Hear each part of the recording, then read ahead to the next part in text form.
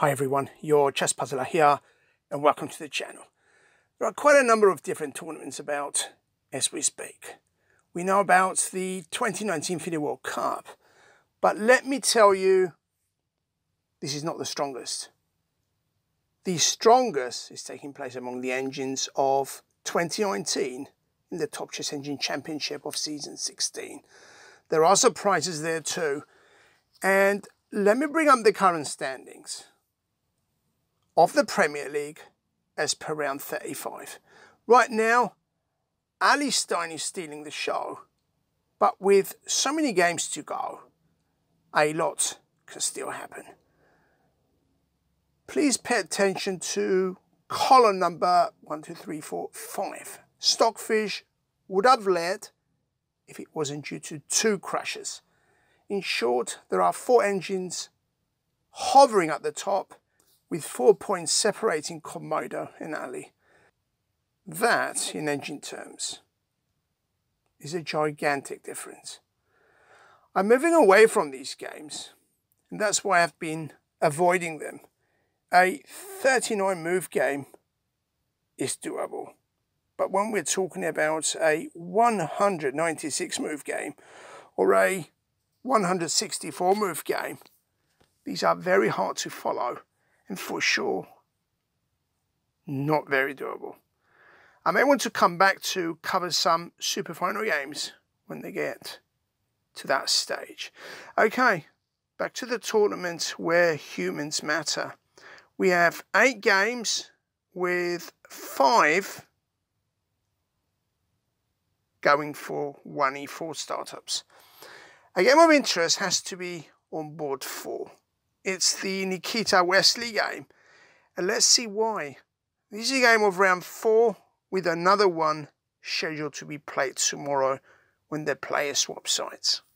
So let's see what went on here, or what goes on here because the game is still ongoing. Nikita White shot off with 1e4. e5, knight f3, and Wesley is a principled Spanish player. He is expecting a Spanish setup, but how likely is Nikita going to go for something like the Italian? Wesley wanted none of these structures and decided to steer the game into the Russian. So a rather surprising move by Wesley, who hardly goes for this type of opening, has Fabi had an influence on Wesley because this is Fabi's territory as much as the Sicilian is for MVL d4 going for the modern attack, opening up the game. And normally, with an open like this, the game is bound to be very short. Takes, and when Nikita chose to go after the knight, we saw this response. e5 was removed, and now Wesley challenges the knight. I may have forgotten to tell you when that d4 move appeared. Does anyone know what this opening is also known by? Other than it being known as the modern attack.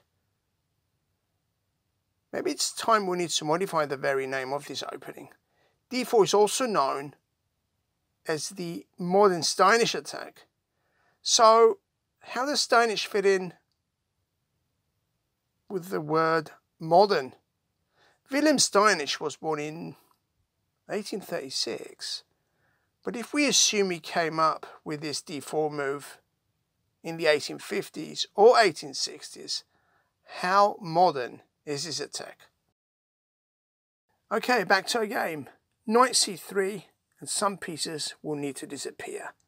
Takes, takes, takes, and takes. And look how fast the board is clearing. Bishop e7 getting ready to get the king to safety.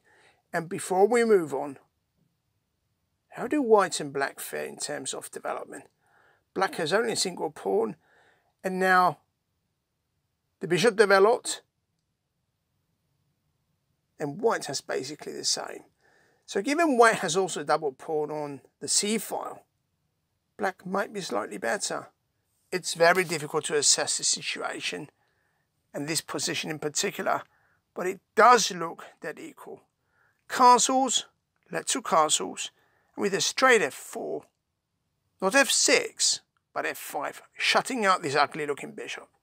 Nikita knows d4 is forthcoming, so this is what he does. Simply to stop any attempts of getting access to d4. Bishop e6, a4, queen d7, and queen f3. And I think a lot of weight will go on how this square on d4 is treated. It's an important outpost, and we know the importance of controlling key squares, key central squares. And they came the rook into the picture, trying to occupy d4. Bishop d4 does not work due to c5. Nikita too got to rook into this line of play, and Wesley in turn rolls out this guy, and d4 is a field that more or less belongs to black. Surprise, surprise. And I say surprise because no one really expects this move Nikita came up with. This is what he did. So what has he got in mind? I can't work it out. Only time would tell. G6 and the game may reach a gridlock, which is in fact a complete opposite of what you would expect of a Russian type of game. H3, Queen C7 is played by Wesley with two aims in mind. One is the obvious C4, but there is a deeper idea here. Can you see it? It's this queen move to a5 to try and get the queen to penetrate right through white's defences. Queen back, in a more chaotic game than this, you will not see. It's not the best, but I don't think the players care. If it brings the result they want, it will be mission accomplished. b6 and Wesley's down on time.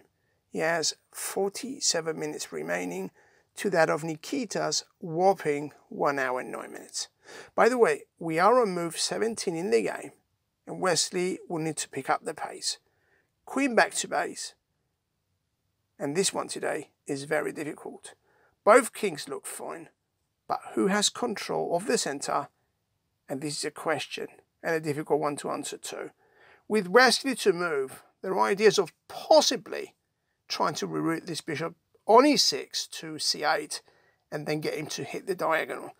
Once here, taking charge of the light squares, Wesley would love to get his queen in front and try and break through in this way. Maybe far-fetched, but let's see. Nearly six and a half minutes later, with Wesley unable to see something clear, he too goes for a waiting move. By pushing his king to the corner too. Bishop back and rook g8 and things are very slow.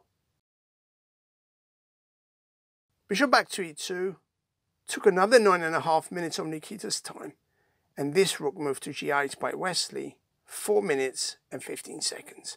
Bishop f3, rook a d8 and things need to speed up. Nikita is down to his last 50 minutes and Wesley is looking at 36 minutes remaining only. And we have just reached move 20. If the position does not break open, this game might draw. And finally, we have something interesting. Nikita is trying to open up this file. If you take, there is rook a4, bishop back to attack the rook, rook back to base, bishop back to where he came from, or even bishop here to c6, when the queen returns to f2. If bishop to the corner, there is progress being made, and at least this game opens up with every single move being committed. Wesley refused to take and pushed on, and now with this further pawn push, though d4 is still a critical point, this guy on a6 is dangerously getting close and is getting there too fast. Do you bring in resources and try and eliminate him? Rook d7, a move I can't really understand. And look at how Nikita is trying to capitalize. He went after this pawn. He's trying to create a shockwave. I'm not too sure if I can create an effect like this. Let me try, and if it works, that will be fine. And look at this one. I hope the effect looks like a shockwave. Rook back to cover, bishop back to f2, and rook back. It seems Wesley might be in some type of trouble here. Queen e2, adding the pressure on the queen side, and queen into block. And after this move, Nikita, which looks to be spot on. Rook d7. Queen back, and I hope you can see what this does. And now when Wesley went for this relatively rush rook response, it seems he's slightly panicking because he has just repeated. And right now, all he's trying to do is to get in some moves to make time. Bishop back, targeting b5, and bishop back protecting b5. And look how the focus has shifted from d4 to another point on the diagram. And we know how important a single pawn difference can be a matter in a game like this. Queen d1 going after a different pawn. And after the queen was repositioned to rook a5. And if pawns begin to fall, this might be the break Nikita has been waiting for. King g7, queen to the corner, and Wesley does need to find some tremendously strong moves. He came up with this one, trying to divert attention. And when b5 came off, we saw these trades. And even though f4 came off eventually, all hell was about to break loose.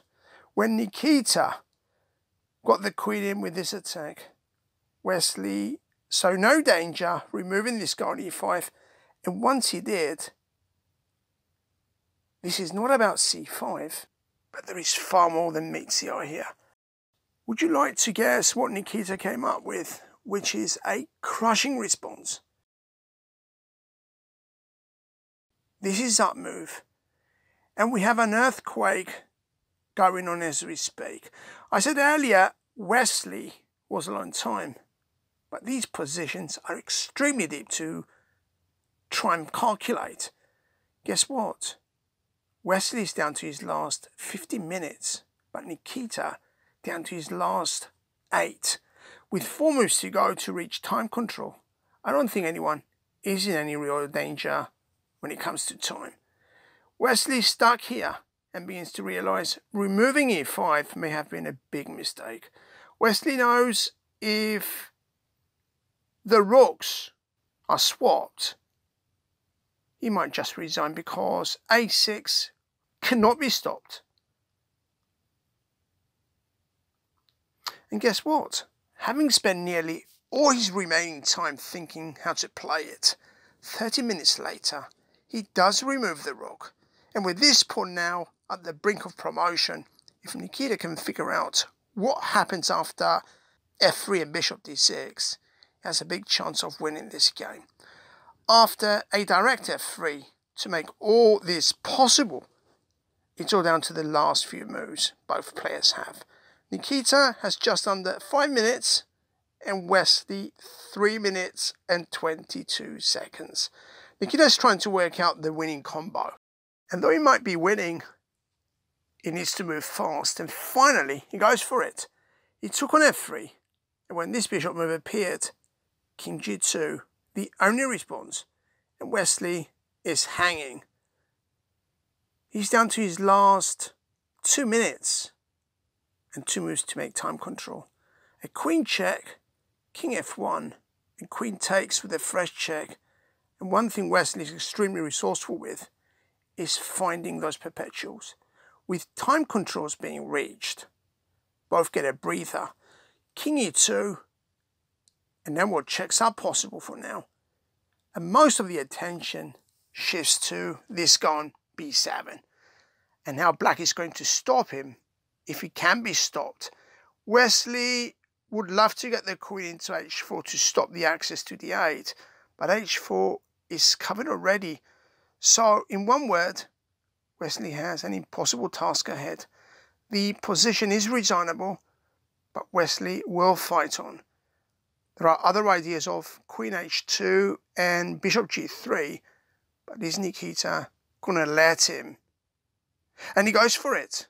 In fact, this is easily stoppable because if bishop g3, c5 will come tumbling down and white has it all covered.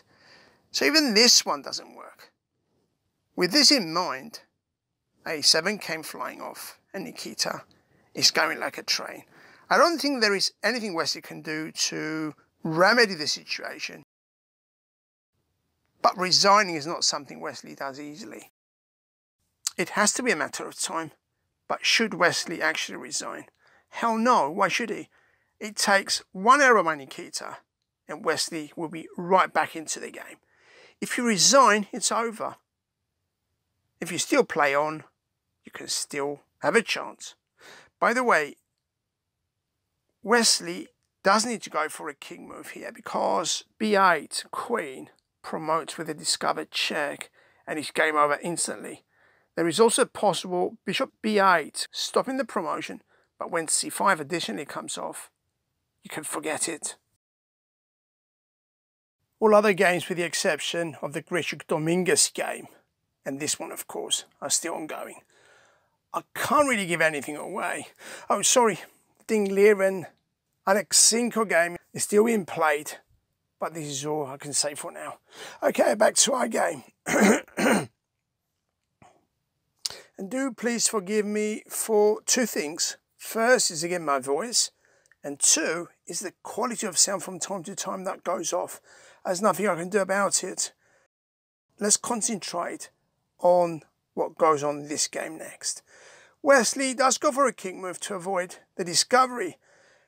And now with the queen repositioning, pinning this bishop, Wesley got in this subsequent king response. Queen c6, stopping the king from coming west. King d8, and this check. And when the king stepped back, f5. Do you see him? Because now you don't anymore. King back to the 8, trying to stop the promotion. And there is no way Nikita can let this one slip. He worked too hard for it to get this far, and there is nothing going to stop him. He knows this, and Wesley knows this. King back to the first rank, freeing up the pin on this bishop, of course, and it's all a matter of time now. Let's see what remains. A queen check, a bishop back to block, and trust Wesley to mount all the pressure on g1. Queen c8, check, is one way to go about it, but Nikita is taking no chances. Queen g4 is as effective, and once he went for it, when the bishop backed off, the king too made his way out of f1 and up the board. King e7, and this has to be the final blow. Boom, bishop takes, and if you take, this pawn will home in. By now, the Ding Liren Alekseenko game is also out the way, leaving the Grischuk Dominguez and this one going. If there is a way out for Wesley, this is going to be an impossible task. And yet Wesley is not resigning. But I guess this has to be a matter of seconds, if not minutes. Okay, this is how Wesley responded. Not takes, of course, but this queen move. And when Mr. Bishop returned to block this check, h5. But given the circumstances, this was pretty much a tame attack. Queen out of danger, and I don't know if a queen check was better. Got the king back to the 8th. And through this check, and king back to e7, Nikita returns his queen to this spot. King back, and what else He's there for Wesley? Got the queen to reposition here, and when Wesley tried it with this pawn, his queen check was as deadly. King fourth to d7. This follow-up check, and I don't know why d5 is still standing, got Wesley in with this king response. And from here, it was a real dead end for Wesley. This check is now running up to a checkmate. King fourth, and when this pawn transgendered into a brand new beautiful lady, Wesley only now resigned. And this is only two moves short of a checkmate. How do you get there? After bishop takes, there is this queen check on c5. And when the king is forced back to the rim, queen b4 is that checkmate. And let's finally hear something familiar. Wesley played a very strong game, but Nikita played even a stronger game today, fully deserving this win. Some people are asking if I'm a Wesley fan. This is irrelevant. Nikita played an outstanding strong game and won in the end. I am fully aware Wesley has too many fans across the world and probably a few thumbs down will come my way. But it has to be thumbs up for Nikita, who actually surprised Wesley and not the other way around when Wesley tried the Petrov against him. For all Wesley fans, not all is over. One thing for sure, Wesley will need to win tomorrow's game and with the white pieces, do we expect one heck of a game. And just like everyone else, I can't wait to see it all unfold tomorrow. Until soon, everyone, this is your chess puzzler.